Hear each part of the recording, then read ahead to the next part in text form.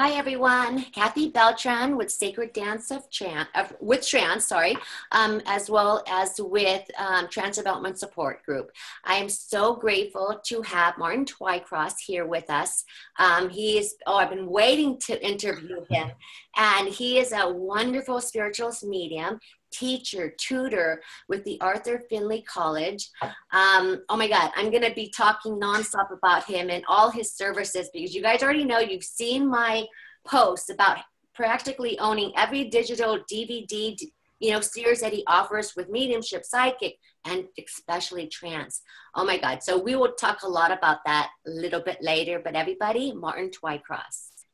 Thank you kathy. Lovely to be here Oh my God, thank you so much. Um, it's my I figured, pleasure.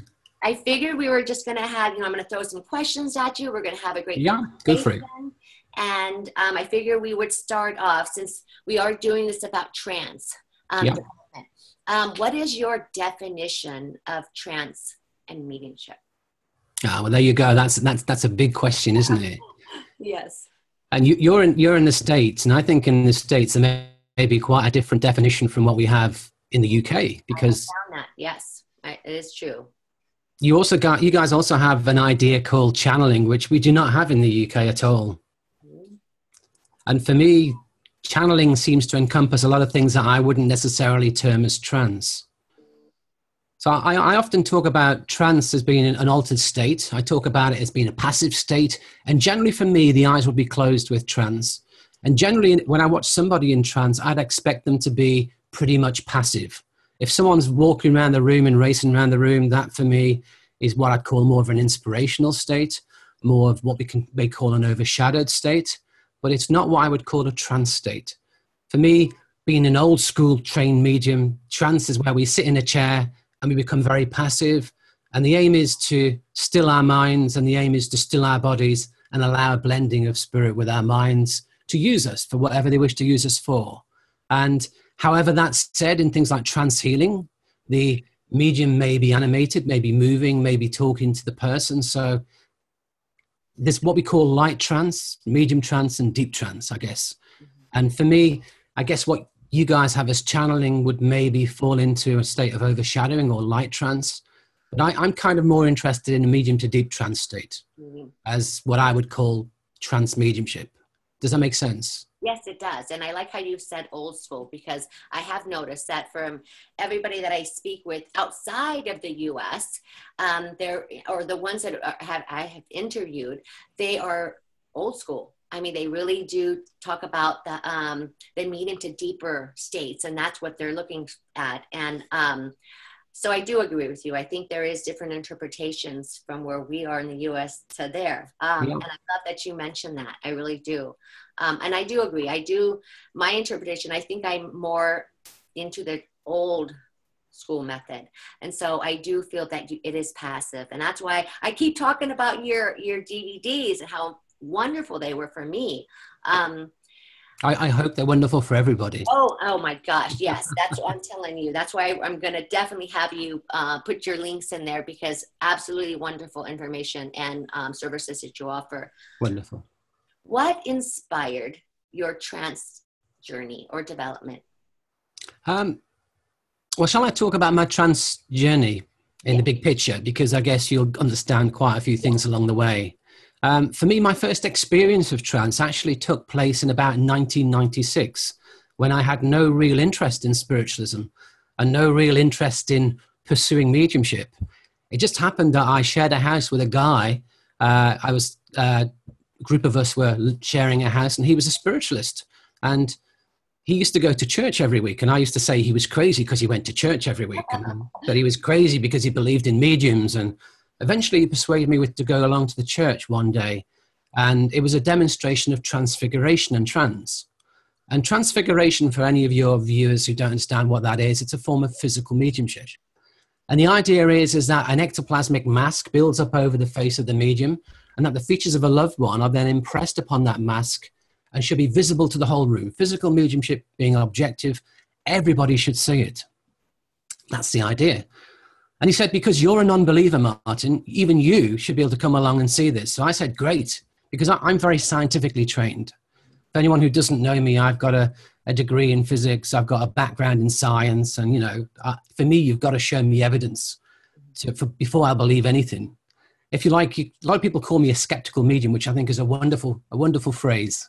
Yes. So I, I went along with my scientific mind, and I saw nothing other than a man gurning and be, with his eyes shut, talking in strange foreign voices, trying to be a Native American, trying to be whoever. And I just thought it was crazy. And I remember saying to this guy, You're all deluded. All of you are deluded. And they're saying, Well, didn't you see the faces appear? And I said, No, I just saw this guy gurning. And what I realized later is, is that true transfiguration mediumship is very, very rare. So what I was witnessing was people were watching things clairvoyantly with their own clairvoyant uh, sense. So they developed some degree of uh, mediumship or psychic awareness, and they were using their clairvoyant vision to see it. I didn't have any of that because I wasn't developed at all. I saw nothing. You saw nothing. Wow. So that was my first experience with trance, and it wasn't a particularly positive one. And then I, I, I found uh, mediumship and spiritualism in 2001. I first went to uh, my local spiritualist church following the passing of my mum. That was for me the trigger that unfolded my own mediumship. And it was three weeks after she passed that I went along to the spiritualist church and I received a wonderful message from her within three weeks. Wow. And I then sat, started sitting for my own development in circle uh, within another two weeks of that. Wow. Okay. So get, that would have been my my next question: is how long have you been doing this? How long have you been on your spiritual journey, or you, you know? Since yes, yeah, since 2001, and I actually gave my first contact from spirit within six weeks of first attending the church. So it all happened very rapidly. Yeah, very rapidly indeed. Yes, it did. And you know what? There are some people that take forever to open up and develop. And there's some that it's meant to be, it's it's their time and it just naturally just naturally opens and is able to not have, you know, develop for so long and have this experience and be able to yeah. deliver messages. So you yeah. them. And I talk about right conditions, right timing, and I guess that was my right time the right conditions. Well, so, so following that, really, um, my next experience was with uh, a gentleman I'm sure most of you are familiar with, a gentleman called Colin Fry. Mm-hmm. And I went to one of his workshops at our local church back in the day before he was famous and he used to do a lot of church workshops. And he gave me a, a spiritual appraisal. And a spiritual appraisal is basically where you look at the energies of someone and look at what's present within their energy. And he kept saying how intriguing I was to him because I w- I, would, I wouldn't specialize in one thing. I would do everything, was what he kept saying. Wow. He said, You've got a fascinating energy. You're going to do everything.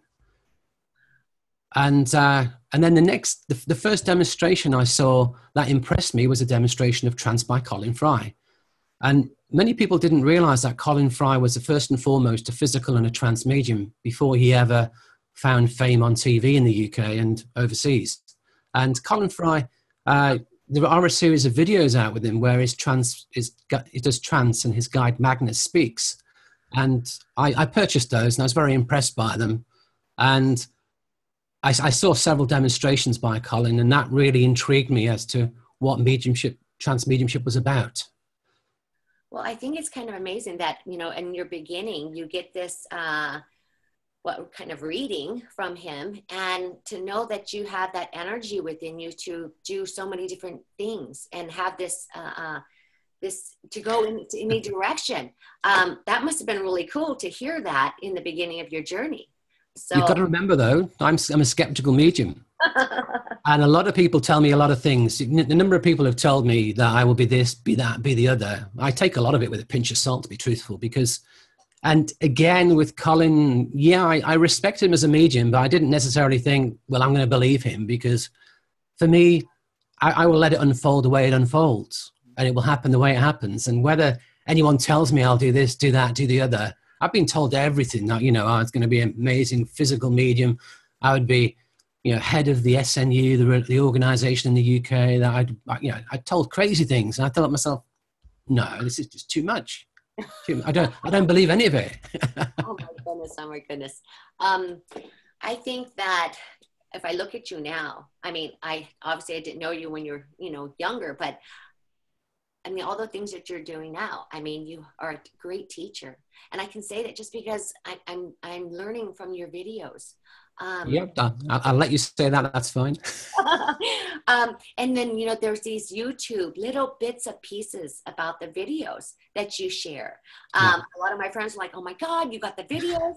yes, they're not all on YouTube. He's not going to put them all on there, but it's no, they're they're ten minute clips on YouTube. They're kind of, in fact, it's a funny story how they came about. I actually I developed this series of videos uh, in my, through my own development. In that I realized that people weren't really teaching the theory behind mediumship, and it bothered me. And so I decided to try and develop, a, if you like, a little course which I delivered in my church. And those original videos were never intended to be videos for a wider audience. They were the classes were done within my local church, and some people couldn't make the series of classes. So I just said, well, I'll put a video camera in the room, and you can get them on video if you want to watch them later on. And and then I decided that actually there's a bigger audience for these videos. They really need to go much bigger than just a few people in the church. Yes. And so I originally kind of put them together and packaged them. And the very first time I ever advertised them, I got some really um, critical feedback, should we say. Somebody said, I think I remember posting, I've done some mediumship videos for anyone who's interested in the theory of mediumship. And the first post back was, My God, how much? Who are you to do them? And all this sort of stuff. And I thought, Oh my God. Wow. So I thought, and I welcome to the world of spiritualism and not necessarily spiritual people. oh my goodness. Well, you know what? I do want to bring up one other thing is I love because the, you know, when I look at your website and you have this thing, you wanted it to be affordable. Yeah, absolutely. You know what? And I, I was talking with you before we started about, I mean, all your, I mean, I, I mean, unless you put in more in the past maybe month, um, I actually have every one of them, but it was so affordable to buy all of them versus going to a teacher or signing up with somebody and you know seven hundred, a thousand dollars. But yeah. it's great information and and some people need it the way you present it you know like how you say you're skeptical but you, you it's so detailed and well, I, I have a logical analytical mind and i like to present the information in a way that makes sense and I don't really like doing anything fluffy. I don't like to talk about woolly things, things that can't be proved. And I'm a huge fan of um, Harry Edwards, and Harry Edwards was a wonderful healer. And he looked at all the healing practices of the time and he stripped out all the stuff that was unnecessary. And if you like, that's the mentality I apply in my own teaching to all forms of mediumship. If it's not necessary, why bother? Let's strip it all away. And that's how I kind of present my teachings. And just coming back to what I was saying earlier on, when these when I posted these this advertising on this forum, and people were quite, let's just say, not entirely embracing the idea of me, me doing these videos. Um, I just thought the easiest way to let people know what they were getting was to cut out 10 minute excerpts of each video and upload them to YouTube and then say, this is what they're like. They typically last two hours. Here's a free 10 minute spot. Have a look, see what you think. And if you like them, you may buy them. And that, I thought that was a, a way of also giving something for free as well, because I think it's important that we give things. We don't put it all behind the barrier of cost, if you see what I'm saying. Yes. And I actually, people said to me, you've kind of given the best bit for nothing in your videos. You've kind of given the core bit for nothing. And I said, well, if, if people, some people won't ever buy them. So if they just watch those 10 minute clips, they're still going to get a pretty good understanding of what it's about. So that it was deliberate, really. Well, it's, not, it's nice to be generous. well, no, and that's wonderful. But like I said, uh, that's where I saw your videos. And yep. that's when I decided to go ahead and do that. And I've studied with other teachers, but you know, it's great to study with other people too and get a different yep. take, you know, um, it is very important. Um, so let me ask you, is there an area of trance um, that you're more interested in developing or that you developed? Um, are you into the healing part, the physical mediumship, as such? With my own journey, I first developed um, evidential mediumship what you the mediumship you see on platforms and sittings. That and healing were the first two things i developed which pretty much alongside each other. And at the time i was told by some people you can't develop them both at the same time. You've got to develop one or the other. And i just said well hang on a minute. All these famous mediums were both healers and mediums so it's crazy to say that. So i developed both in parallel. And i had no real intention of developing trance up front to be truthful and I actually got invited in 2002, so maybe six months after I first started development, into a trance circle. And uh, it was the first closed circle I was ever invited into. And I was a bit unsure about whether I should go. Was it right for me? Do I really want to develop trance? And the answer was, well, not really. And but I went anyway. And so I went into this circle, and there's probably about six of us in the circle. And I was really there to give energy to the other mediums who were already developing trance. I was kind of a sitter to give the energy the power. And I ended up speaking. And, you know, and it, it wasn't really expected that this new guy who shouldn't be doing anything would talk. So I went the circle and I began speaking. And if you like, that was the first sign I had that there was a potential for me with trance. And, but then I, I didn't stay in the circle for very long, to be honest, only a matter of weeks, I guess six weeks.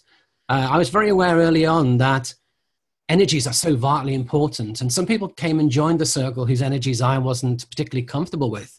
And I no longer felt comfortable. I felt it was probably, given I really wasn't that excited about developing trance at the time, and the, I didn't really feel the energy was right for me, I felt it was probably better I stepped back from the circle. But at that point, I had a glimpse that, yeah, you know, there's potential for you to do trance here. It's there within your energy. So I knew at that point that, yeah, maybe trance is, a, is something I could do in the future. But I never really got, I didn't really start developing proper till about 2008 when I began to sit properly for trance and made a decision. And for me, what really excites me with trance is trance philosophy. I'm a huge fan of Silver Birch.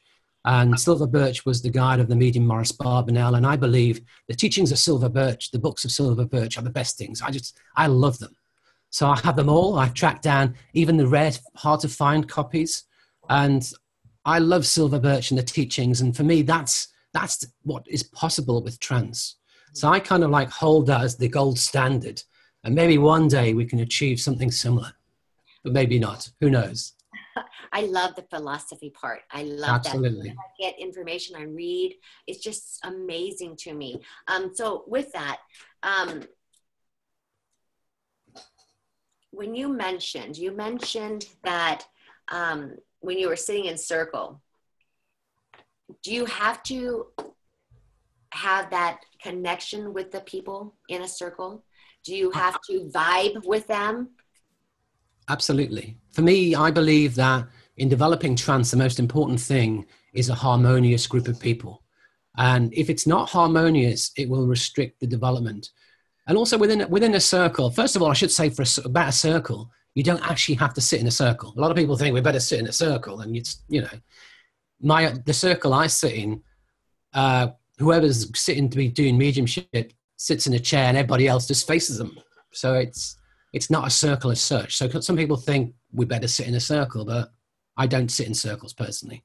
Okay. It's a it's not it's not a physical circle. And that's actually good to know because absolutely, absolutely. Um, I wanted to ask you, what is your interpretation of sitting in the power or sitting for spirit?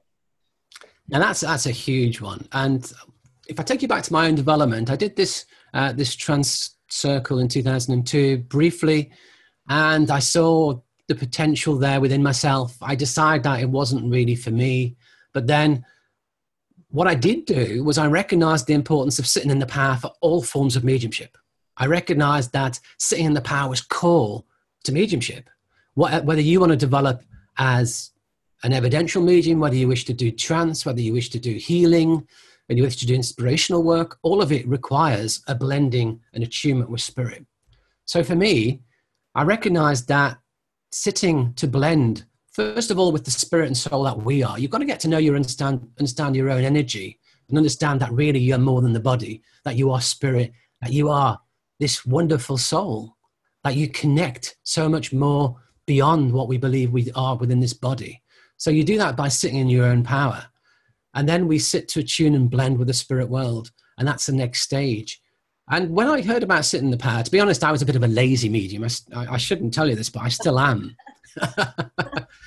and so we decided that rather than sitting at home in our own time, we'd come together and have a circle within a church, and we'd all sit at the same time in the circle within the church. And that's what we did for a couple of years, really, a few years. We all would come uh, regularly and sit together within the circle within the church to build power. And we were seeking to build our own power, not a group power. But it's interesting that it was the people or some of the people who was in that sitting at the, what we call the power circle is what we called it. It was some of those who actually went to form the trance circle. And we'd already developed this power together, this blending together, this harmonious blend together by sitting within this previous circle. And then it was a natural extension to take that to trance, really. And for me, it showed me that sitting in the power is such a vital step in doing it. If you think you can go develop trance and you don't sit in the power, then be prepared to not get very interesting results, I would say. You know, at the end of the day, sitting in the power is, is the call to all forms of mediumship. Absolutely, in my view. Can you develop any form of mediumship without ever sitting in the power? Well, yes, you can. I gave a few messages within six weeks without ever having sat in the power. I went into Uh, a trance state in a, my first circle without really sitting in the power properly. So, yeah, it's possible.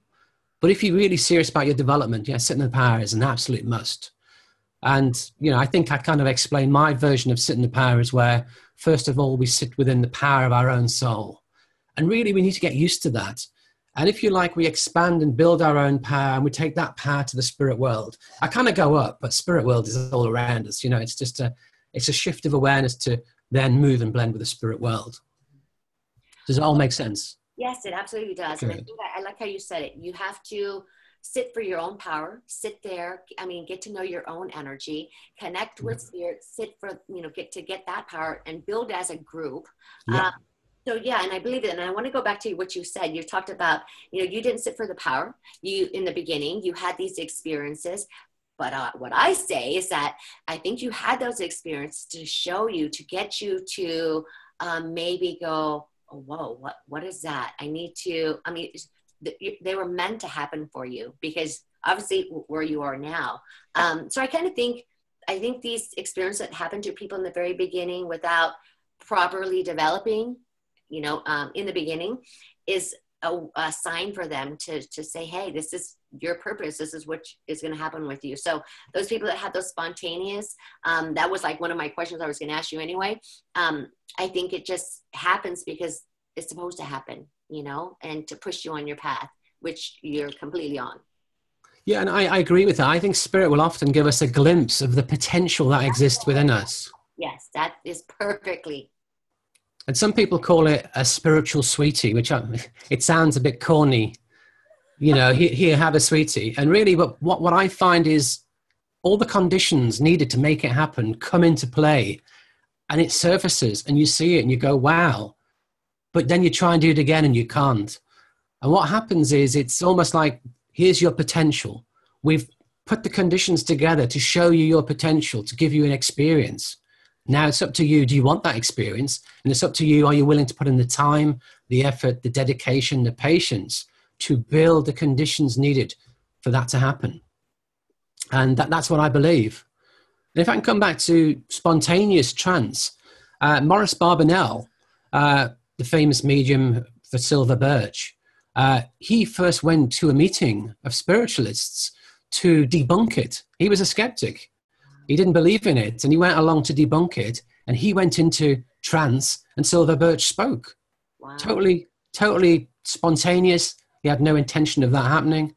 Another well-known medium, Leslie Flint, who is a very well-known physical medium, a voice medium, uh, most one of the most famous voice mediums we ever had, perhaps the most famous. Again, he went to a circle. He sat in a circle, and again, he went into trance spontaneously, never, again, not really wanting to do it. It happened. Uh, Gordon Higginson, another medium, his first experience of trance was when he was working on platform, was meant to do an address, and he went into trance, and he he was very worried because his mum wouldn't let him go into trance, and she was she said he wasn't allowed, and it happened. And he said, I was really worried because I, I just thought my mum's going to kill me. I've gone into trance. And I, at the time, I think he was quite young, maybe 16, 17, 18. So it was quite young. And again, it was a completely spontaneous thing. It happened. But I believe it's there to give you that glimpse of your potential. Yes. Yes. That's what I believe. Yes. I, I agree with you with that. Um, are you currently developing or continuing on with your development um, in a circle or on your own? yeah, but basically, uh, we never stop developing. Nobody, I think, for me, I always view um, your development as a journey. There is never a destination point when you can say, hey, I've arrived, I can do it now. Um, you know, I know that with all aspects of my mediumship, whether it's evidential mediumship, whether it's healing, whether it's inspiration, whether it's trance, whatever it is, there's more to come and I can develop it. So we, we always have to develop. And with my trance, I, I sit in a trance circle regularly, a couple of times per month. And, you know, it, I have to say, trance changes as well. You know, all aspects of mediumship change over time. It never stays static. And my own trance mediumship changes as well. I can, I can tell you some really interesting changes later if you want me to. That's taking place within my own development. But I think it's helpful for people to understand that our mediumship is forever changing. And if you ever think that your mediumship will stay the same, if it does stay the same, it will limit you. It has to change for you to grow. And in growing, it changes. So it, the two are intertwined, if that makes sense. Constantly going to be learning forever. There's Absolutely. That's going to change on you. Yeah. Um, how long after sitting in circle? Um, most of the members want to know this because they're like they're still starting. They might have just started and they you know they think that you know maybe they might have an experience in like two days. Um, how long before you started experiencing uh, anything within your circle?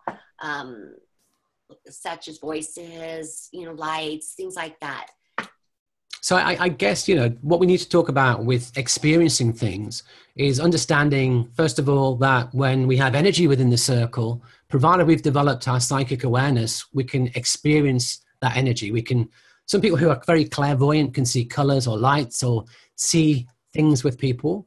People who are very clairsentient, they feel the energy in the room, they feel the energy changes.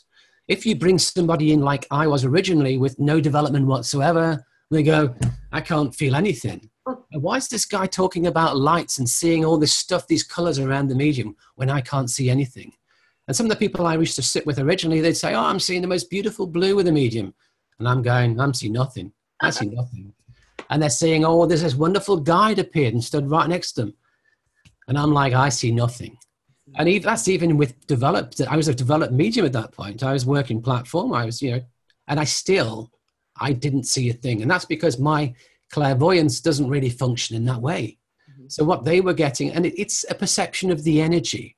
The energy is there, and some people perceive it through clairvoyant vision. Some people, I perceive it more through clairsentience, through feeling. I feel the energy first and foremost. I very rarely see the energy with people although I can see spirit lights if those lights are created by spirit. Mm-hmm. Um, and I can also, obviously, phenomena within the room like cracking, cracks, noises, you can hear that. But we have to differentiate what's normal building movement on a cold night when it heats up versus what may be spirit generated movement. So, so you know, sorry, spirit generated noises. So some spirit generated noises are so loud that everyone jumps out their skin and it's like, whoa. Mm-hmm. And it's like, that's just not a little creak within the corner of the room. That is like profound. So we have to talk about the different types of phenomena. So with the very first circle I sat in, perhaps on the second or third circle, I went into trance and started speaking. As we say, that was my spiritual sweetie. It didn't happen again. I, I, I, didn't have another opportunity. I didn't have another opportunity within that circle because I didn't really stay in that circle for long. So then I left. And then I really didn't start sitting properly for trance until 2008. And probably I'd say for the first half dozen circles, I didn't speak. So there was nothing for the first half dozen, although people could see energies, feel things within the room, but they were developed as mediums or developed, they developed their psychic awareness, their psychic ability. So they can feel that. And I was, when they were saying, we'd all talk about what we got afterwards and we'd say, what did you get? But really, most people begin with didn't get a great deal. But to begin with, we had six people sitting. And within the space of, say, two, two and a half hours, each person has to have their ch- chance in the chair. And the energy, the power within the room gets split six ways. And it, it limits the time you have and it limits how much spirit can do with us.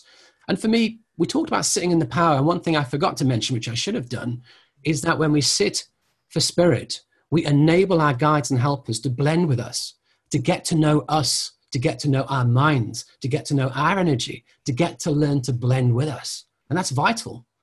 And then when we're sitting to do, you know, to develop trance, it's an extension of that. They're sitting to blend, come with us, to blend with our energies, and ultimately to control us, to speak through us, to do what they wish to do. So it's just an extension of that close attunement we make with them, if that makes sense. Yes. So sitting is vital. So that's a precursor. But then when we're in the circle, we then need to spend that time blending. And it will take time for them to learn to blend with us. So we shouldn't be surprised that it takes a while for phenomena to happen. And even when we speak for the first time, maybe I spoke after, um, say, six, six, six, the sixth circle. Now, I'm, you know, I'm quite technical and I love to record all my circles. I, I have a digital recorder in the room so I can listen to what's said because when I'm in an altered state, I don't always hear things the way I would in a normal state. So I like to listen to what's said and go back over it again later. And to be truthful, the words that came out of my mouth in the early stages were not very good. I would call them lousy. I would sometimes say you've got to go through a period of dross before you'll start getting onto the quality, the precious metal. You know, we, if you like, we have to get used to speaking. We have to get used to allowing that blend to happen. And most of the time, there's a great portion of our own mind in the mix.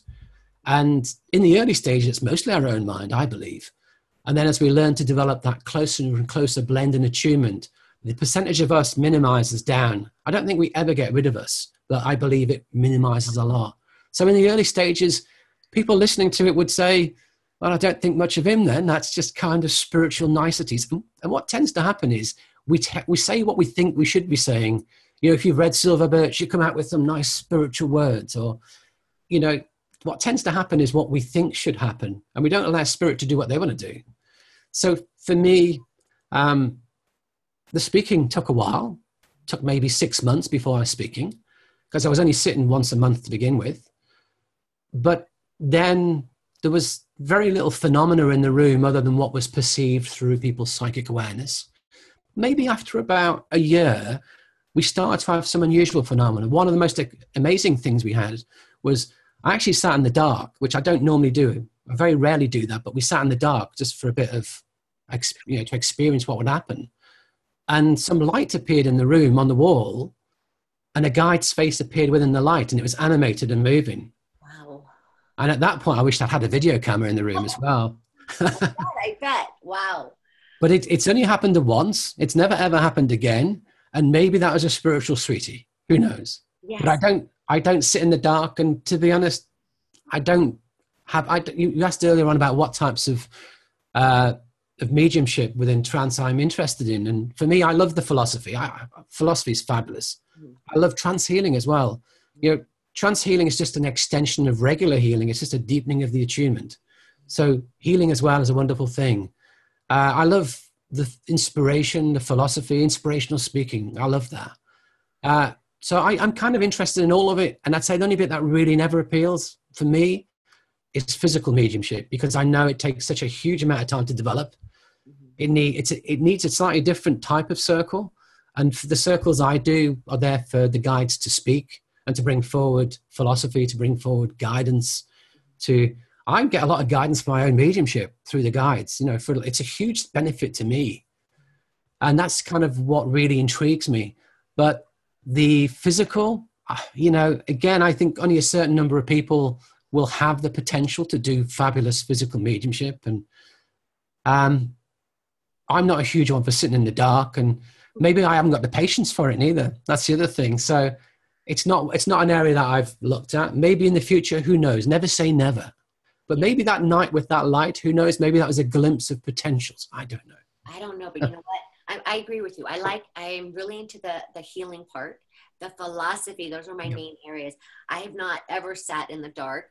Um, I'm not really drawn there yet, and I don't know if I ever will be. But um, I like how you explained um, this to other members. There's so many different areas. Um, and you did you you sit like what um, once or twice a month because yeah. what's happening is i'm looking at my questions and i'm like oh man where did i mm-hmm. stop because you're doing it. What's happening is I noticed with all the interviews, yep. knows exactly what's going on, and they're just answering. I'm like, all right, what? Okay, I was at nine, now I'm at 17. You know, so don't worry, we, we we can cover off anything we don't cover. But just speaking there, some some interesting things came to my mind that some people think you've got to develop trance in the dark, and you don't. You know, too bright a light can actually be uh, detriment to the process if it if it's too bright for your eyes and it can affect you, then it's too bright and turn it down a bit.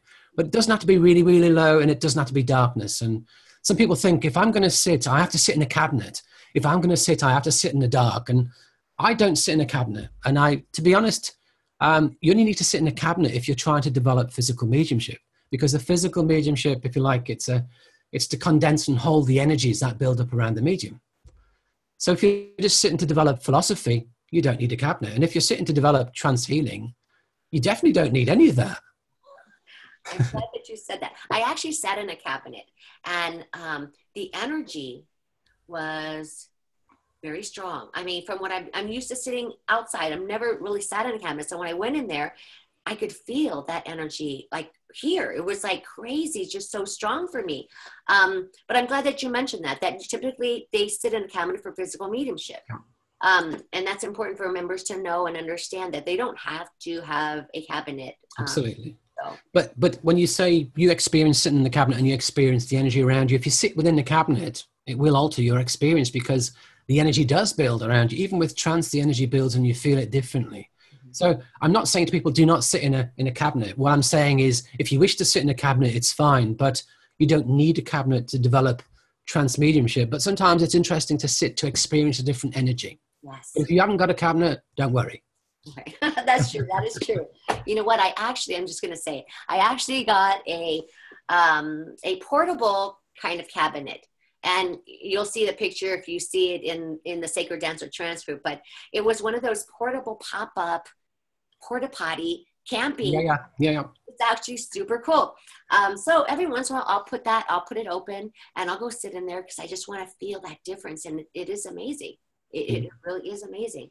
Um, it's, it's an interesting experience, definitely, to sit within the cabinet to see the difference.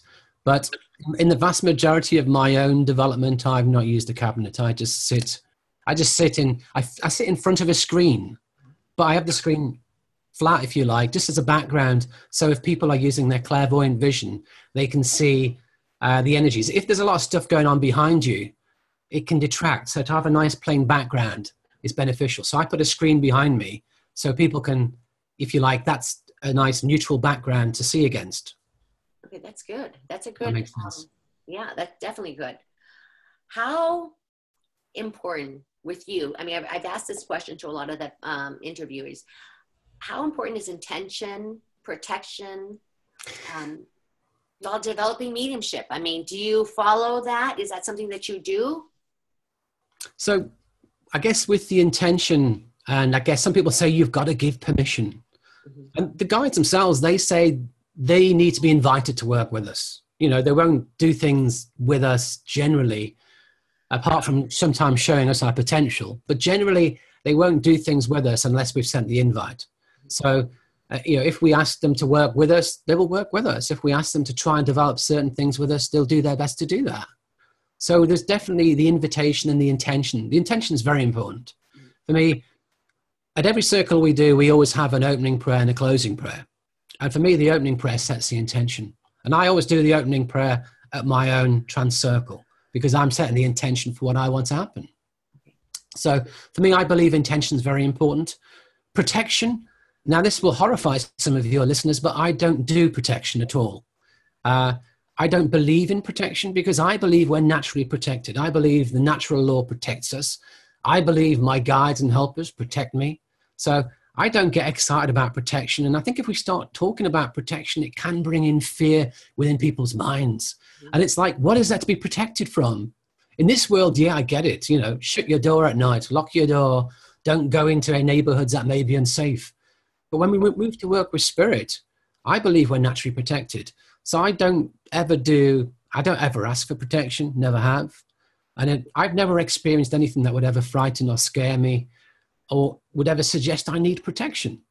So for me, I don't get awfully excited about the protection side of things. Well, you know what I have noticed is that every time I talk to somebody outside of the US, they're exactly the same like you. They don't believe in protection. They don't do the chakras. They don't do certain things, you know, the opening the closing of the chakras before you connect with spirit. I find, I thought that was so unusual because, of course, here, that's what we're all about. Um, but I love that. I love how you said, there's I don't feel like I need to be protected because it's I am already. So Absolutely. I love that. I'm glad it's that intention. Intention to be protected. But coming back to what you said about do you need to open and close your chakras? Well, I, I wouldn't know whether any of my chakras are open or closed, to be honest. I wouldn't know how to open or close them.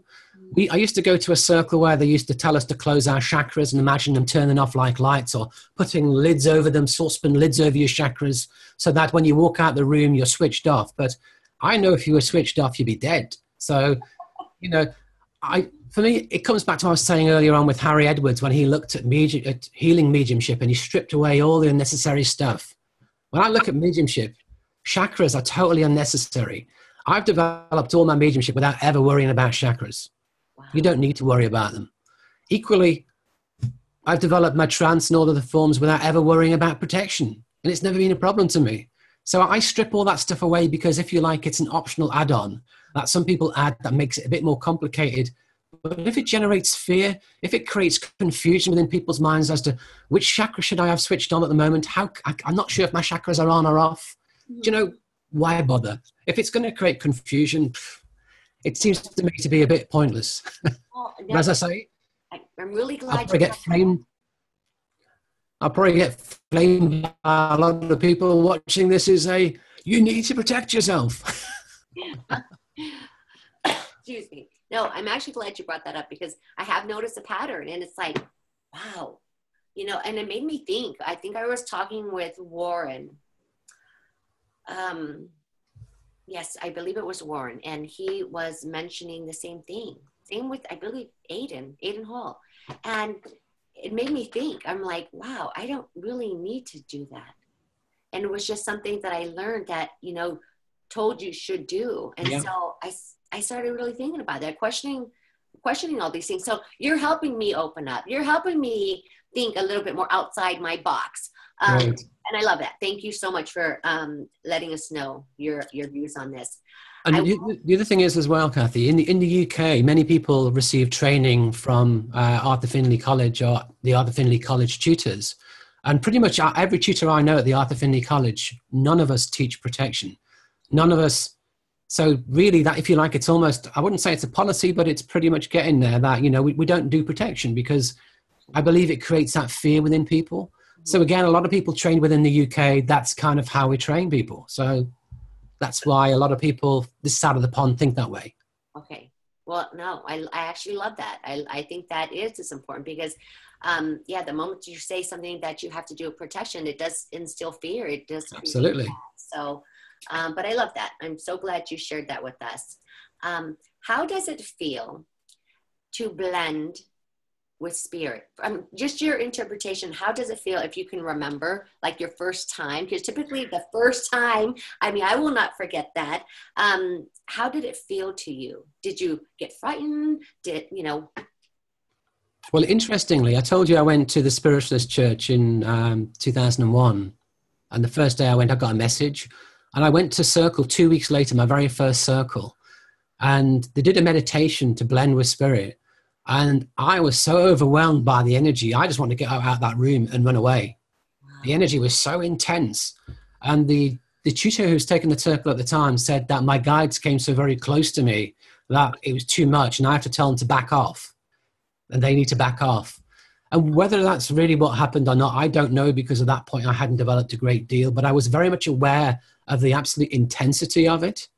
The very first time I gave spiritual healing, um, the intensity, the blending that took place, it, and it, the, the beauty of it, the emotion of it, the tears were streaming down my face because of the beauty and the love that I felt as I blended given healing. And again, that was my, if you like, my um, glimpse of potential that, hey, healing, look at the power and the, the love that takes place within healing.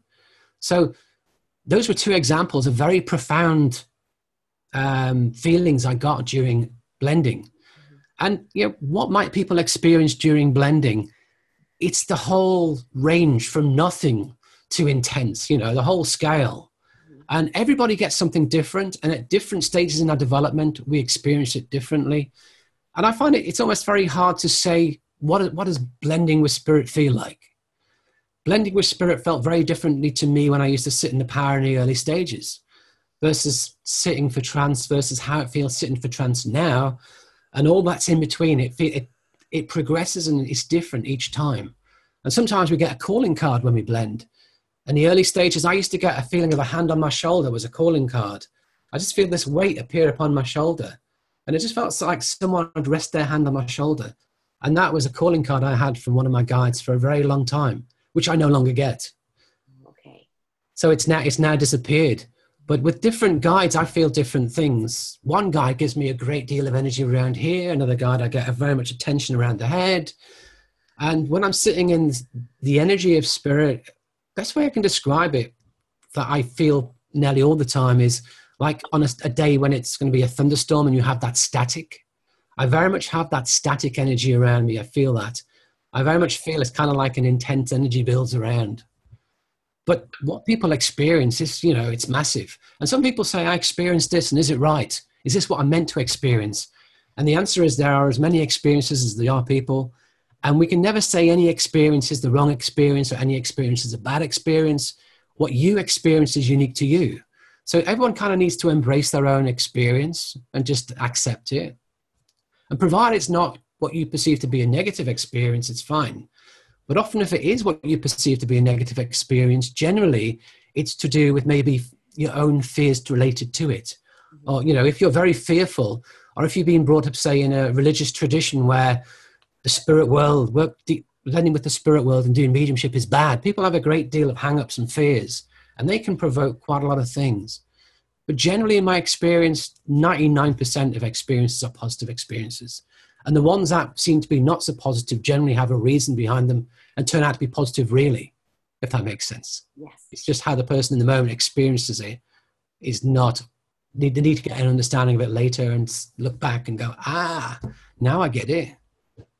Um, when you said that you received your um, the calling cards, the different calling cards, yeah. Um, did you ask for them, or did you just observe that you you know when they when they would come in that that would always happen to you? Or you know most people think that they should ask for the calling card. Um, do you find that to be true that you should do that? Well what tends to happen is is what we what we know we start looking for. So say I, have been trained and I, I, went i went on courses for trance and physical in the early stages. I remember being on courses with quite a few mediums colin fry and many others. And again they talk about your guides each have a different energy signature or calling card and you need to understand their own energy. So you then start going looking for it. It's natural to go looking for it and to try and differentiate between them all. And you know this kind of it kind of brings me into something i want to talk about anyway as part of this this interview. So in the early stages i would look to find a unique specific calling card for each guide as best i could and yeah, you know, if you look for it, you'll find it. If that's what you believe you want, yeah, if you ask them, they'll give you it. And when with my own mediumship, with the development of trance with me, I started speaking, and the guides would come through unique, one at a time. One would come in and speak and work, and then go, and then the next one would come in and speak and work and go. You know, like that's how they work. That's how, for most people in trance, it works. And then they said to me, Do you want to see how it really is? Or do you want to see how you want it? And I thought, Wow. Wow. That because that's interesting. And I said, okay, show me how it really is. You know, I sent the thoughts to them. And what they showed me was they can blend with my mind as a group. And different ones can work at different times without them having to, like, if you like, come and physically occupy my body and go away again and have different sounding voices and different personalities. What happened was I then was looking for which guide is this? And I couldn't feel the calling cards. But then when certain information was coming out of my mouth, I'd realized that, ah, this is the one I call the scientist, or ah, this is the one I call the philosopher. But they kind of like could all blend at once. Wow.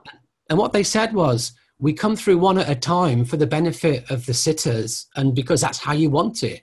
But if you want us, we can We're, we're a blend of minds, a cooperative of minds, a collaboration of minds. And we can all blend together with your mind if we want to. And we can just let one come to the surface, whoever wishes to speak, or we can kind of almost have one mouthpiece for all the thoughts going on. And that, that kind of blew my mind. And I was like, okay. And then I thought, well, so I, that, that happened for quite a number of maybe a year or two. That, that happened. And we lost the discrete guides. And now sometimes we have discrete guides come through and talk, and sometimes we have the mix. It varies. But it, it, for me, what was interesting was they said, it's your need that will come one at a time, wow. not because it's what we want to do. And if you leave it to us, we'll do what we like, as long as you're happy with it. But even now, there's still a part of me, I guess, that likes them to come individually because, you know, it's, it's nicer that way. Mm-hmm. You know for sure who's talking, but I don't always know who's communicating and they don't really announce themselves in my circle. And I don't believe in trying to assign names or archetypes to guides. I don't try and say, this one's a Native American, because what happens is we're desperate to know who our guides are. We want to know, are they a Native American? Are they a monk? Are they a nun? and what we can do is we can force them to be something they're not, because it's our need. They will appear however we want them to appear. And the guides say, I am not this but you have a need for me to appear as this. So I will appear as it to appease your need, but this is not who I am. Yeah, you know what? You're making me think now. I mean, yeah. wow. I mean, it's what I want to perceive when really, you know, they're just giving it me that that way. Now you're Absolutely. making me question everything. Now I could be sitting there later today going, um, I mean, I have circle tomorrow, so I'm like, I'm gonna we're gonna be talking about this video here. Um, very. Yeah. I love thinking about things, and you know, people ask me questions. Can you do trance with your eyes open? What is you that? Know, answering everything. I'm, I'm at. I have all these questions. That was another one I was going to ask you. I forgot to mention. So you're you're completely doing it. And you know, in my experience, and I asked other tutors at the Arthur Findlay College, do you know anyone who just with their eyes open? And the general consensus was no. I think someone could remember only one person they believed to be genuinely in trance with their eyes open. So I said to the guides, "Come on, we need to experiment. Let's let's at the next circle. I want you to take me into trance and open my eyes and let's see what happens. And they could keep me in a state of trance if they opened my eyes an absolute tiny bit and we could talk and provide my vision didn't focus on anything. It was just like a little bit of light seeping in. But as soon as my eyes opened to a certain degree whereby the eyes focused, bang, it whips me out of it. And it's because it, they said generally we won't do it with your eyes open because it will bring you back to the process. It will bring your mind back. It will bring you back to the room. It's not helpful. So generally, it's better to do trance with your eyes shut because we're trying to suppress the mind. And in suppressing the mind, we really don't want anything coming into the senses externally, like, uh, like your vision. Obviously, you'll hear what's going on in the room. But again, it's like they kind of, and then you ask the question, or you might ask the question of me, how does it feel when you are in trance? Yes. is, that, is, that, is that one of them? Yes, that is. you know, and, and for me, different mediums will say different things. Some people say they're completely out of it, and I'm not completely out of it. I hear what's going on because I think I'm nosy. Yes. And you know, Spirit once I, I said to them, I want to know what it feels like to be completely out of it. Again, remember, experiment with them. So in the earlier stage of development, I said, Well, I hear some people go out of it totally. Next time I'm sitting, can you try and take me out of it totally? And boy, I didn't like it. You know, I actually felt as if they were trying to kill me. oh my god! Oh my goodness! You know, if you're going to be chloroformed, if you know, if you like, you go to the, we used to go to the dentist as children, put a mask on us and effectively chloroform us, oh my god, and knock you out, and it felt like I was being knocked out, and I didn't like it. And I said, I said, whoa, That's no. It.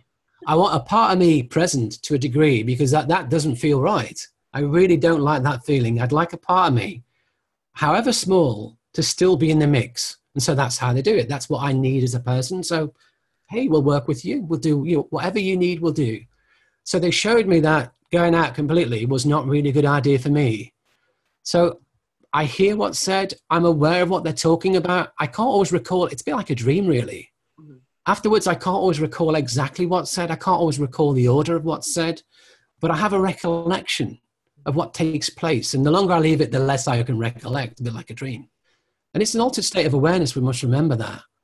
But I do hear the words being said, and sometimes I think, oh, that's interesting. That's not that's not what I would say.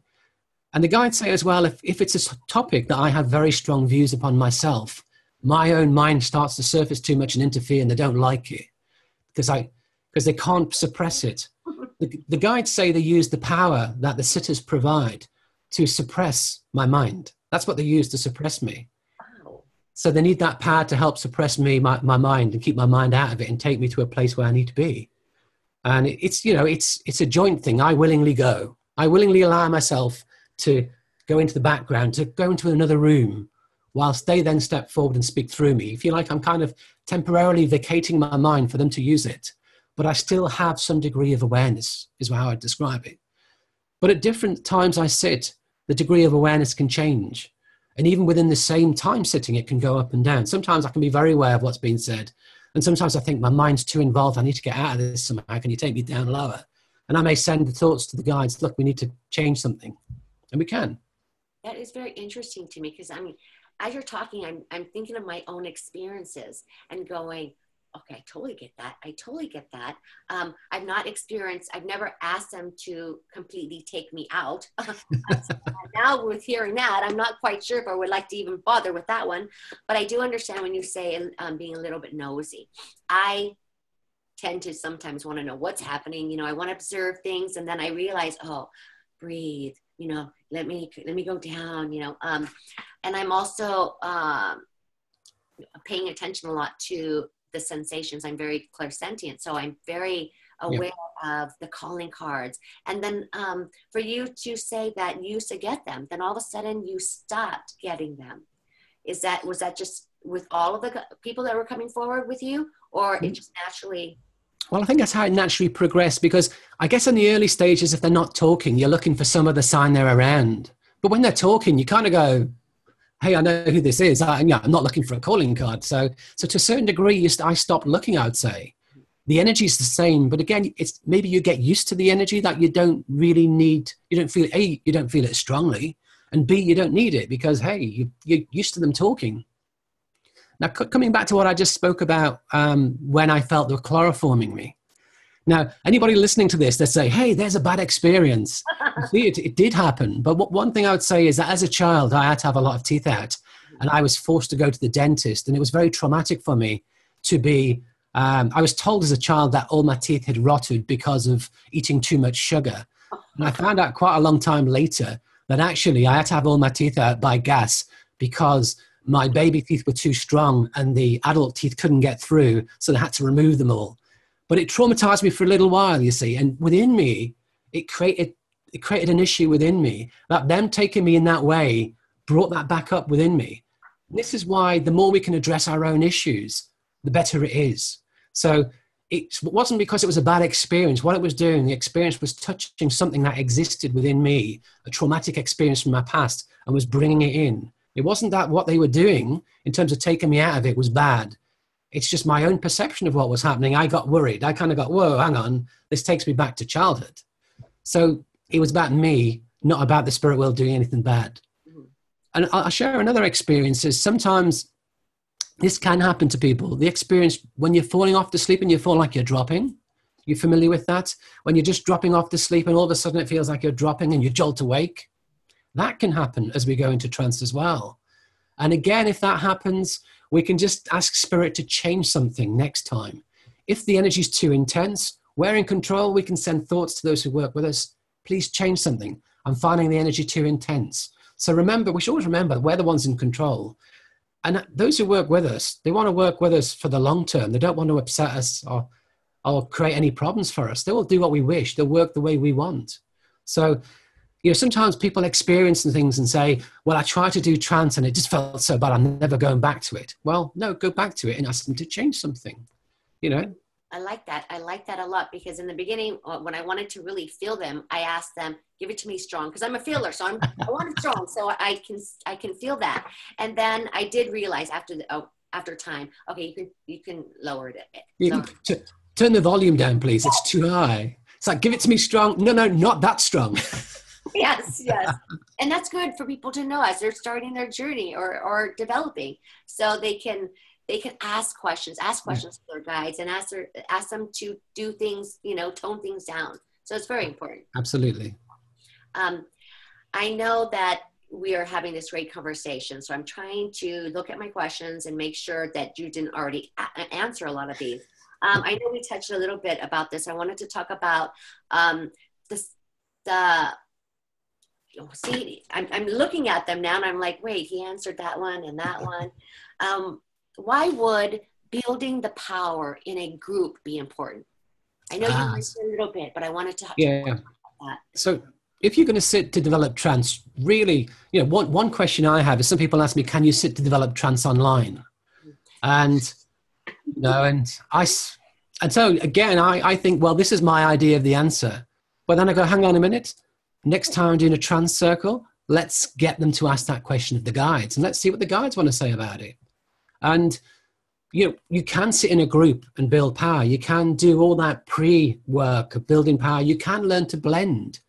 In inspirational work, you can receive information, a flow of inspiration from the guides and helpers who work with you, and we can get to that state.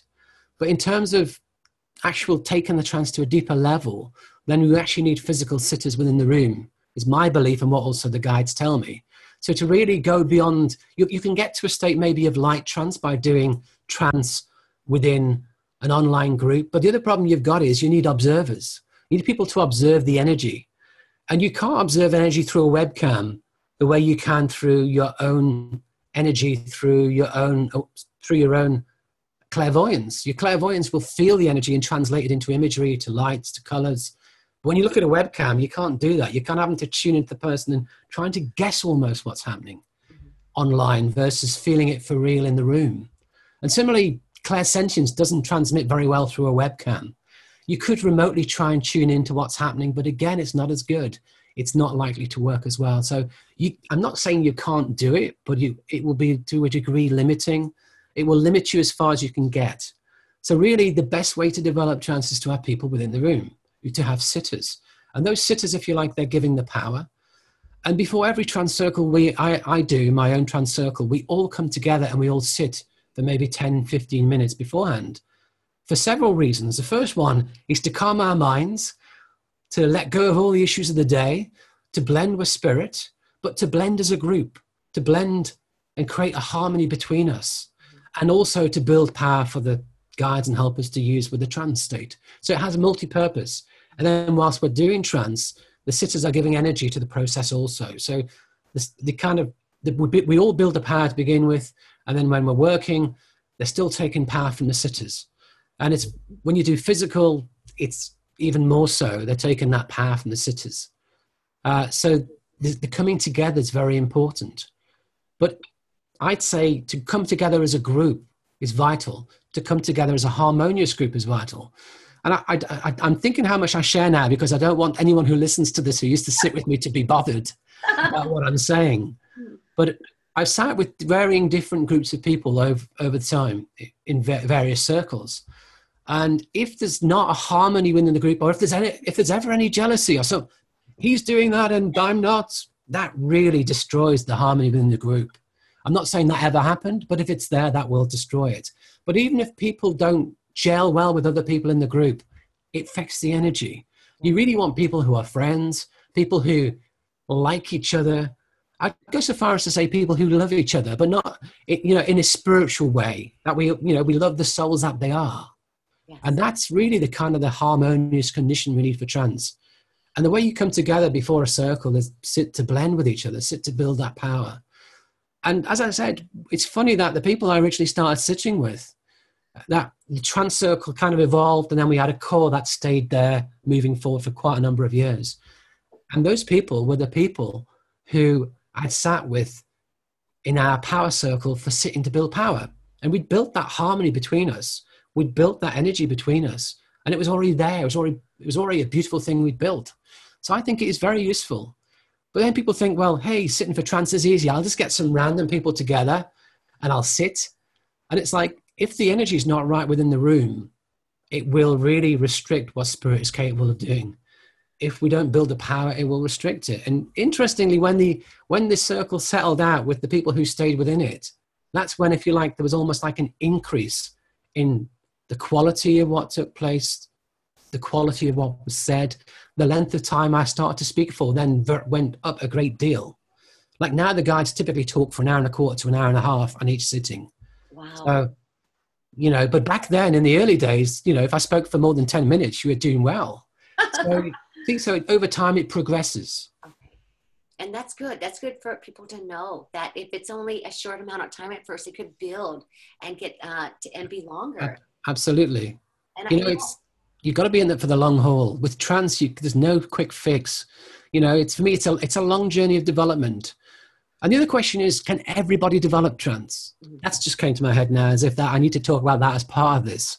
Mhm. And I'd say that everyone can develop what I call evidential mediumship to some degree, to some standard, whether that's just giving a link in circle, or whether that's maybe just doing some sittings amongst friends to give evidence from loved ones. But not everyone will go on to be a platform medium. Not everyone will go on to be someone who's able to do sit-ins, you know, multiple sittings in a row and be paid for it. Not everyone may develop it to that degree. But when it comes to trance, it's, I'd say there's even less people who will go on to develop trance to a, a to a, a good level for several reasons. The first reason is the length of time it takes to do it and the commitment needed. And you have to be drawn to it. Yes. I'd say that anybody who can develop evidential mediumship to a reasonable standard is capable of developing trance to a good standard because it's just a continuation of the attunement. Similarly with healing, if you're a good healer, you can develop trance because it's a continuation of your attunement. If you work with spirit inspiration and you're receiving that inspiration, that's that attunement, you're blending it, you're taking it further, you're moving it on. So if you're working with spirit in some way, then yes, you can take it on. But the usual the pitfall with most people is they don't want to sit for years. I want instant results. I'd like to get the result within months. I am not willing to, to, you know, as I say, I didn't start speaking until maybe six months. Even you know, I, I know we'd seen I could speak years earlier. It was there. The potential was there. But if you like, I had to do the work then to create the conditions to unfold it, to make it happen. I- As I say, it's like, here's your potential. Now go away and put the time and the effort in and show us you're serious. Show us you're serious about developing it. Mhm. And a lot, for a lot of people, you know, a lot of people fall by the wayside with developing evidential mediumship, and even more will fall by the wayside with trance. But if you're drawn to it, if you really feel it's something you can do, I believe, yeah, you're going to develop it to, to a, degree. It's all degrees, you see. And, but again, in the early stages, what may be spoken may be, forgive you forgive the expression, dross. It's uh, not a particularly of a high standard. And we have to learn to work through that to allow the good stuff to come. And we shouldn't be disillusioned by the speech that isn't brilliant. And for me, I get very worried about people wanting to compare and wanting to judge other people's trance. I, I'm, I, I get very nervous about people ever wanting to judge trance because I went along in my very first experience in 1996 as someone who didn't understand. And I judged that man and I judged his trance and I judged his physical mediumship with no real understanding or knowledge. And it's so easy to do. And other people say, well, I know what trance is and that's not trance. Or in, but actually, the person's at a stage in their development where that has to be happening. We have to sit through that. We have to watch that. We have to let it happen. We have to let it come for the better stuff to come later. It's a necessary stage of the unfoldment of it. And if you take your trance public too soon, that can be a real challenge because, you know, if people are watching who don't understand, they can be very critical and they can say some quite cruel things and it can destroy people, as with all mediumship, really. And so that's why you need trusted sitters who are not going to be judging you, who are not going to be comparing, who are not going to be getting jealous like you've, hey, you did something fabulous and I haven't. So I'm really upset that you, you're good and I'm not. And that really starts to affect the energy. And so it's not a good thing. Not a good thing. And, uh, you know, jealousy is definitely going to break the harmony of any circle. And sometimes, like, I realized that the very first circle I was in, certain people joined whose energy I didn't really get along with. And I felt disharmonious. And I just said, It's me, guys. I don't really feel right. I'm going to have to go. And I didn't say it's you guys. It's like, no, because it's not them. It's, it's how other people's energies make me feel. It's about me. It's all about me. We have to, we have to own our own stuff. We have the personal responsibility. And so if it doesn't feel right in a circle for me and I really feel I'm not meant to be there, I will go. But I won't blame anybody. I'll just say it's where I am. It's where I need to be. It's what I need to do. And so definitely competition can be a challenge people judging where people are at and I always used to feel quite nervous if I went on a course, say, at the Arthur Findlay College, and I've been to the Arthur Findlay College many, many times as a student, maybe over 35 times, 35 weeks as a student, quite a lot. So, and in some courses, we'd sit to do trance. Maybe that wouldn't be the main course, but we'd sit and we'd go down. And, and if someone spoke, everybody else in that class, maybe the 15 are all kind of judging it. Was it good? Was it bad? And it used to bother me because I kind of like feel, well, my trance is very personal to me and I don't really like anybody. Um, if, you like, if I let you see it, it's I want it to be on my terms. Does that make sense? I guess I'm a control freak. That's what we're talking about. but I, I, I recognize that you know other people judging us, other people saying things about us can be very hurtful and can destroy it. It can, dist- you know, we need to nurture and encourage the ability. We don't want people saying, "I've watched you," and that's not trance. And I hear, I've heard some tutors say to people, you know, that's not spirit. That's not trance. You're not able to do trance. And the person is destroyed and goes away, whoa. And I feel it's not fair to do that. I don't really feel anyone can judge where anybody else is at on the basis of seeing them just once or twice. You know, so I, I think we have to be very careful about not judging people. Yeah. That's what I'm getting at. Yeah. I'm all I, I'm all about really. I want people to be nurtured. I want people to be encouraged. I want people but equally, if they're totally disillusioned, we have to be honest and say that's not quite right. Mm-hmm. You know, it's we still got to have we still have to have our rational approach to it.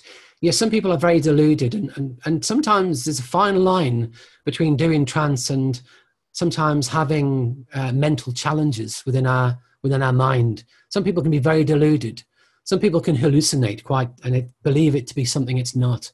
And we have to be honest about that, but in a nice way, in a caring way, in a loving way. It's, you know, the job of a teacher to try and pull someone up with that is not an easy thing to do. But um, so it's, it's finding that balance, finding the balance. And you know what? You brought up a lot of things that are very important. Um, I, I wanted to go back to your first experience when you first sat in circle and you started speaking. Um, you were new in that circle did the members there I mean, did they start getting jealous, get upset? Um, this is what I'm saying. Sometimes I'm trying to think about how much I can say to protect people. okay, okay. oh, totally get it. I mean, so, I would feel that so, that. Well, you know, I guess if I'm in their shoes, this guy is really, you know, he's only six months into his development journey. He's really new. He, does, he hasn't done anything. He's not even a working medium. And he comes and he sits and he starts talking. What's that about? Mm-hmm. You know, and you could easily see that some people may not feel comfortable with that, or some people may feel threatened by that, or some people may feel, well, I'm not even speaking yet, and how come he did it? And so it, it I, I think that created an energy within that circle that, if you like, was it was part, still part of the mix. Why I, I think at the end I still felt it wasn't right for me because that happened and made made me feel a little bit uncomfortable, to be truthful, because a lot of these guys are working platform mediums and you know been doing trance for years and I come along and I just, hey, what's going on with him? and then it's, I guess, to a certain degree, we want him to sit to give energy for us. And now he'll want us to give energy to him to, to develop his trance. And it kind of starts to, it starts to create a dynamic in the group that was not the intention. So, yeah. And these things do happen, you know. And I will say that what happens within a lot of circles is you have, say, six people sit. And the energy that we build goes in six different directions and no one really progresses very much. So the fewer people who sit in a circle the better because the less people you're sharing the power amongst and the more time they get to work. So and what you'd really love what the ideal thing is for a trance circle is to have sitters who just give their love who don't want to develop trance who just come there to give their love to you and i've been very blessed in my own circle to have sitters like that, one of whom is my wife, luckily, which is wonderful. That's how she is. She doesn't want to develop her trance, but she loves she loves the trance circle and she loves just giving her power and her, her energy and her love to it. And if you can get sitters, they're like gold dust, honestly. I can't speak highly enough of people who are willing just to be there for others, to give their love for others, just to be a part of somebody else's development journey without wanting to be in the chair themselves, without wanting to be developing themselves. Because if everyone wants to develop, we have to split the energy up and it will slow it down. And in the end, the circle I was in only had two of us who were developing, and other people were just giving their power. And that was better because really there's only two of us get to sit and the energy is only split in two directions does that make sense so you know it's much it's much easier. You know what? I just don't know. Okay. Um i don't see that happening too much here where see uh, people will come and sit and just give their love and, and be there doing the power. They that, that's not really here. I mean in my awareness with my groups no everybody wants to develop. Everybody wants to be the medium. Yeah. No, so, nobody um, wants to be the supporting act. They all want to be the be the, be the lead actor mm-hmm. but actually what's very interesting as well is when you sit in a circle and you give your power and your love to what the process of what's taking place in trance you are actually being developed at the same time because by giving that act of service and being blended with the spirit gordon higginson a man who I, I, get very passionate about and for anybody who doesn't know i've built a website about gordon higginson called www.gordonhigginson.co.uk and you can go and see him hear him but he always used to say that no time spent in the presence of spirit was ever wasted. And I love those words. Love that, no yeah. time spent in the presence of spirit is ever wasted. So even if you're just sitting you're being developed. Even if you're just sitting, you're growing as a soul. But yeah, I get it. I get it. It's the same here. You know, to find people who are willing to sit for you. If you can find people who are willing to sit, grab them, yes. cherish them. They are like gold dust. They are wonderful. They are wonderful. You know, I wanted to go back on about the online. So here in the U.S., um, like in my group, the Sacred Dance with Trance, um, you know, I created a place where people could also come and connect with each other. Um, hopefully, join and create their own physical circles as long as they live near each other. But also, we have to have that option of online because a lot of people don't have, like where you are, my God, there must be, it must just be everywhere. Everybody loves, everybody wants to do it or, or support it. Here, you know, some people live and there's nobody near them and so we do offer the off online and i like how you said that um, yes you might be able to develop to some degree um, it is better to be in a physical circle and um and so but i like how you mentioned that. I like how you said that you can still do it but it'll be to a degree that you can. Yeah. um especially with inspirational or or um healing but not maybe so much as the physical. Is that what you said right? Well the, the physical physical mediumship remember is it's a rare ability to find within people. And it, if the amount of time it takes to develop trance you have to extend it a great deal further to develop physical. I think Gordon Higginson said it took 10 years of sitting to develop his physical. So, you know, he'd be speaking in trance probably, I would think, within months. But to be getting really decent phenomena within a circle, well, you're talking yeah. a, group of, a group of people sitting for 10 years. So, you know, physical, I, I would be very surprised if people are getting physical phenomena in online circles within a short space of time. And, yeah, yeah. And even, and even within circles that come together to sit you know often people sit for not sit nothing happens you know. The, the problem with sitting for physical for many people is they sit and nothing happens and they get bored of it and it's like geez how many how many months or years have i got to sit with nothing happening? At least with trance, people can talk and it's interesting and words are said and you can be involved in the process. So it takes real committed sitters to go for physical. So online yeah I, I, get that people can get an experience. I get that you can develop inspiration. I get that you can develop light trance. And you know if you ask me you know can i do can i do trance now with just myself and a camera and no people here? I would argue that i could probably do it for a while because i built that power within for them to communicate. We have that relationship that they can communicate. But i think it would peter out pretty quickly. I wouldn't be able to do an hour. I might manage 10 minutes say so it, you know, it could be done without physical sitters, mm-hmm. but it would be it wouldn't be anywhere near what's capable of with physical sitters. Um, so it can be done to a degree. I know that, but equally, I find as well. I, I sometimes sit for inspiration for myself. I, it's not a trance circle. I just sit. I, I grab my audio recorder. I make it, put it on, and I just sit and I and I let what comes forward. But I'm aware that it's a, it's what I would call an inspirational speaking state. It's not what I would call the trance. It's it's a lighter state. I'm still inspired. I'm still aware which guides are talking, but it's and that's what I would more equate with sometimes what I see in channeling. And I can move much more in my body. I'm not kind of like really when when I sit within my circle, I don't move other than my head. I don't move my hands generally, and other than my head, my body sits absolutely rigid still for an hour and a half. Wow. you know, and when I, oh, when I come back, boy, my joints are stiff and it hurts a bit when I first come back. But my body is just totally still. Now they have experimented and they can move their hands if they want to, but they say that takes power to do that. So we'd rather conserve the power for the speech rather than animating the body, if you will, because, and some people think, you know, Gordon Higginson, a wonderful medium, I've got some uh, video footage that I uploaded to YouTube of him where he in trance walks around the room. But what people have to understand with Gordon Higginson was he was claustrophobic. And he was a physical medium, and he didn't like to get into the cabinet because he was claustrophobic. So they take him into trance first, and they learned to walk him into cabinet. So there was a reason he developed walking because it was vital to his his development of physical mediumship. So he was a trance medium for, for a lot earlier than he ever developed physical.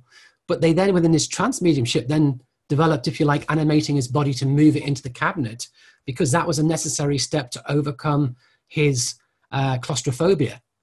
Wow. So, but if there isn't a reason to move you around the room, they generally don't want to do it because it takes such a lot of time and effort to do that. That why would they spend ages seeking to develop a skill with a medium that's not necessary? So when I'm doing a light inspirational state, I can do much more in my body if I wanted to. But when I'm in trance, it's like the body's, if you like, the body's uh, being rested up and the mind's being sent out the, out the room as well. And then they're coming and they're, and they're using my head, my voice, and just the top part of my body to speak. And very occasionally they may move their hands, but not very often. So for maybe an hour to an hour and a half, you will just be absolutely just your head moving, if anything. Yeah. yeah. Wow. Absolutely. Okay.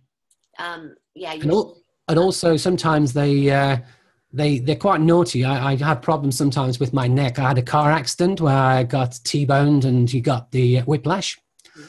and I've been going to see an osteopath for a great deal of time um, to get help get this sorted out, and it never truly has sort of, as after any accident, it never fixes.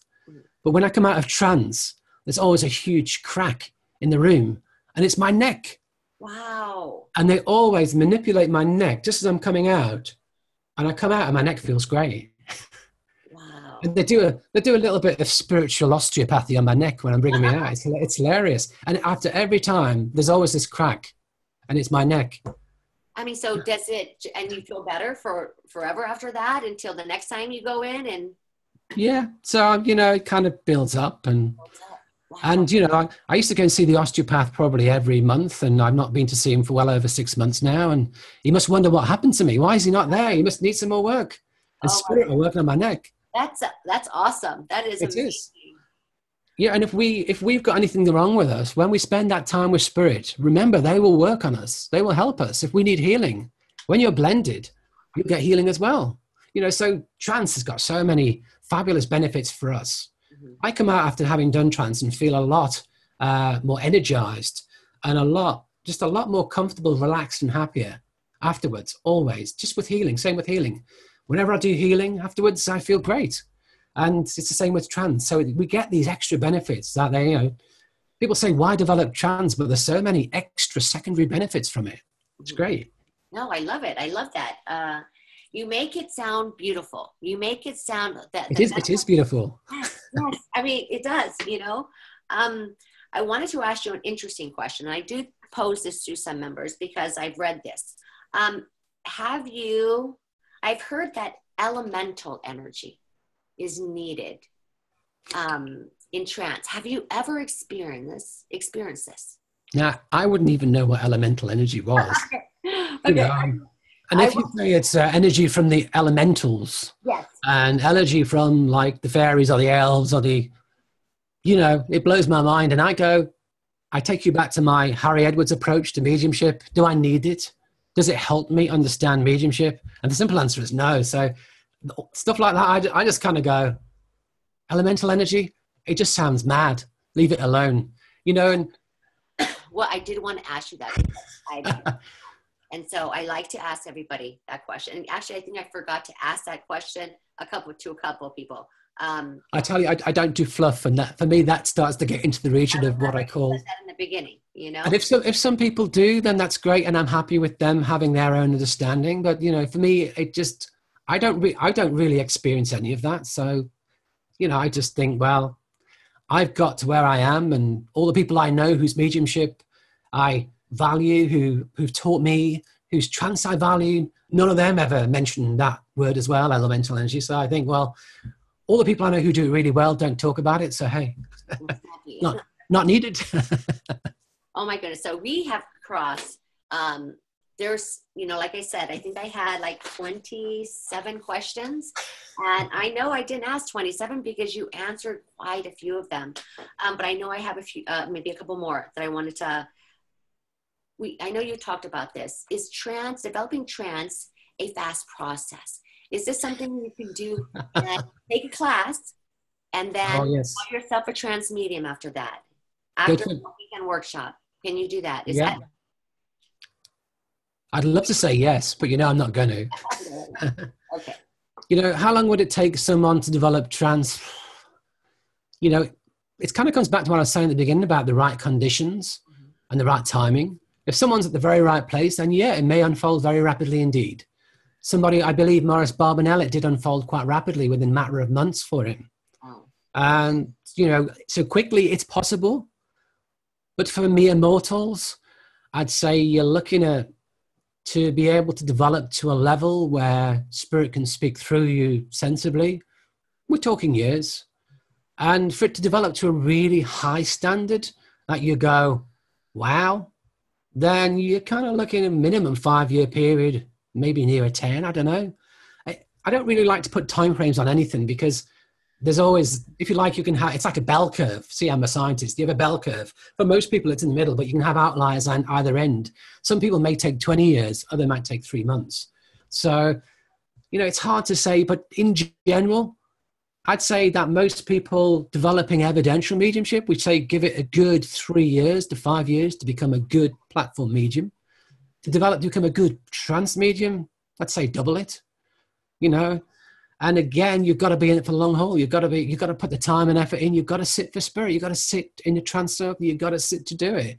If you don't sit in trance circle and expect trance to develop, then you're mad. Why would it develop if you're not putting the time and the effort in? And with my own development, I used to sit monthly and then it moved more to two to three times a month at the moment. And the, the more you sit, the more it progresses generally it's giving spirit the time to work. It's a two way thing. They can't work with us unless we give them the time. So yeah, absolutely. Yeah, I think I um, um, most of the interviewees say the same thing. It's dedication. absolutely. Patience, dedication. All of that. And as long as you're doing that and making that commitment because you want to, and it's really the intention as well. Yeah. Um, then it could just everything could start opening up. But yes i do agree with the time that it does take time. And i do that's why i wanted to mention too um, it's an important question to, that i asked because i want people to understand that it's not something they can just do like that. And and if you happen to be one of those super super you know meant to be have to do it right now um, that opens up naturally. And again you know three months or whatever but typically it is a long time that you have to sit and develop. Yeah. Um, and I want people to understand that because this way they don't get discouraged because some people are just going to, you know, they're so excited and all of a sudden they stop and they don't want to do it anymore. And, you know, the more knowledge you have about what you're getting into, what you want to do, the better. Before- and I'd say as well that, you know, the, um, the progression with it is not a straight line. It doesn't always get better. It has its peaks and its troughs. Sometimes you feel like you're going backwards. And sometimes you feel like my trance last year was better than this year. And this year it just seems to have gone to pot and and what's happening is you're changing and what's happening is how they learn to work with you is changing and you're going through a process of continual development. And sometimes it looks like it's going backwards when it's not. And sometimes our expectations are unreasonable. Or we expect it to stay the same and when it starts to change you know when my when they started working with me by not being discrete personalities and starting to blend. With one part of me still didn't like it and i kind of thought to myself you know if ever i have to do a public trance dem this will not match anyone's expectations of what happens. And they all say that's not how you do trance. Because I do do a very occasional public trance demonstrations. I have done them in the past. If people have been booked to come and do a trance demonstration and don't show up, sometimes I've been roped up to be, hey, you can do trans, you go do it. and, and I'm always wary, what will people think of it? And so at that point in time, I'm kind of thinking, well, people will not think this is how it's meant to be. Even though I know they're showing me this as part of my development and it's a natural step in my own development And so, you know, and even to a certain degree, I was thinking, am I really happy with how they're doing it now? But we have to just accept and just let the process happen. So we have to recognize that sometimes we can have a huge stride forward and then there's a consolidation phase where nothing seems to happen or heaven forbid it seems that we get that initial spurt where it all comes into harmony and it works really well and then all of a sudden it's like hang on a minute now you've got to work to recover that position and that's when people say this is not working for me i'm off now and that's why if you like some spirit i believe sometimes test our commitment to it as well test our dedication to the cause to see are we willing to put in the hard work and effort needed to stay the course. Gordon Higginson always used to say, "Many are called, many, many, many are called, but few are chosen." And the way I interpret that is that many initially want to do it, but not everyone will stay the course. And it's you yourself who choose. It's the chosen part. It's coming from you, not spirit. They don't choose who their workers are. It's we we choose whether we're going to stay the course and work with them. That makes sense. It makes absolute sense, and you said it beautifully. Um, I would like you to add. I know you mentioned that you um, built a page. Is it for you built a separate page for? Yeah. Um, okay. If you could I, also attach that, so people can connect with that um, page that you have as well. Yeah, I, I, can. I can give information relating to my my own page, personal page, where all my videos are located, and there's there's currently 23 of them. There's a lot. Each one lasts about two hours, sometimes even three hours. Yeah. And then and then I also have a, a study program. It's like, it's like a home study program that you do in your own time. You get the videos. There's each class, all the all the videos. There's a, there's a corresponding tutorial that go with it, and then there's like four modules which have five videos and five tutorials in it. And I also I'm, I'm just bringing on stream now some live classes as well, live support classes for those doing that. So you can ask me questions with your development, whatever you're finding happening. If you want to come and ask me about it, you can. So I'll post the link to that as well. And yes, all the links that you want. I want everybody to be able to connect because everything that we've been talking about, especially your your uh, the services that you offer. Sure. Um, and I really, um, like I said, I know I go over about your videos. I, I love them. Um, I quite like them too. and, I, and, I, do recommend them a lot. So I'm so glad Wonderful. that I put you on here. Um, I want to ask you one final question. Actually, sure. what you've answered it, but I'm still going to ask you one more time is there any final advice that you give to someone starting this journey, this this trance journey? Um, that's well, I, I, I guess with it's what the same answer I give to everyone anyone's done any journey of work with spirit is for me it is a beautiful journey and it is all about the journey. It's, you, you never arrive at the destination. You know, we never we uh, you know we never make it that that's the level we're going to achieve. I believe that we can always progress until the moment we transition to spirit. And then we'll progress in the spirit world, learning even more. So we'll never stop learning. So don't treat it as a destination to get to and try and rush to your destination. I would say enjoy how the journey unfolds for you, enjoy every step of it, enjoy the time you spend with spirit, love it and love spirit. Because, you know, for me, I love the spirit world. I love the work I do with spirit. And I know the love that they bring for me everything I've ever had in trance that they've given me, their advice has been spot on, wonderful. Like I was saying to you, I get healing when I work with them. They do so much for us. It's you know, it re- my my guides love to say it's a conscious cooperation of souls. That's what they love to say. This work is a conscious cooperation of souls. We choose to consciously work with them, and they choose to consciously work with us. And together we're walking this pathway. And it's a pathway of service. And for me, service is all about love. If you just approach it from the mechanics, you will limit your ability to develop. If you approach it because you want to get to the destination and you want a badge saying you're a medium or you're a trance medium or you're a healer, you'll limit your development. When you've treated it, come at it from love, compassion, and service, the sky's the limit. The sky is really the limit. And so, you know, embrace it, do it. What are you waiting for? It's a wonderful journey. That's what I'd say. Very, very inspiring. I am so grateful that you took time on your Saturday. To, and, and, I think we are, what, five hour difference between yep. us? Um, that you took the time today. Um, I am so grateful to you for sharing all this beautiful information. And um, I just, I'm just so excited. I'm probably going to have to watch this video over and take more notes. Okay. Honestly, I'm seriously going to do it. Um, I know that um, you took your time to do this. And I just, I really just, I'm so grateful.